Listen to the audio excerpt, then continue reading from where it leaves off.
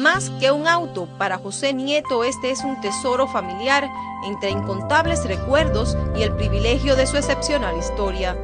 Hace algo más de un año nos confesaba su deseo. ¿Cuál es el mejor destino que usted cree que deba tener este carro? El museo.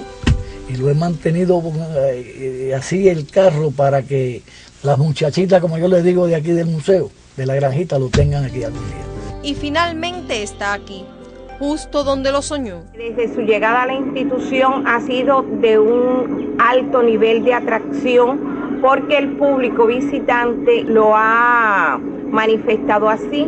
A su llegada a la institución se le explica que se encuentra este exponente aquí y ellos inmediatamente vienen, cuestionan la autenticidad del mismo que se le demuestra a través de todas las cosas que posee originales. El auto tiene original la bocina, el timón, el número de motor, los cristales, los asientos.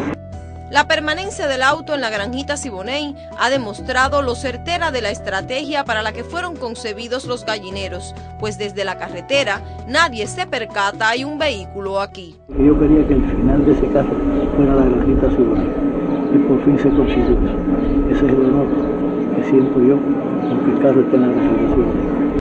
Y ahora se trabaja para que en el aniversario 60 del asalto al cuartel Moncada, esta valiosa parte de nuestra tradición heroica esté en las condiciones de conservación necesarias para su perpetuidad y en el gallinero que el comandante de la revolución Juan Almeida Bosque quiso para él es ahora el centro de atracción de los visitantes por la especial leyenda que nos recuerda aquellas ideas de Abel de que algún día la historia del Moncada se contaría y la disposición de morir por la patria sería imitada por otros jóvenes que sentirían orgullo de seguir su ejemplo.